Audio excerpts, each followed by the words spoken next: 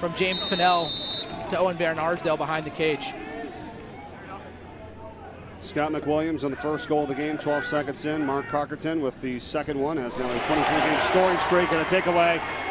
And out of the cage was Schneider, and the goal is good from Cockerton. To you. Johns Hopkins misses a one on 0. Mark Cockerton snags it on the ride and then buries the outside shot. That is much harder than it looks.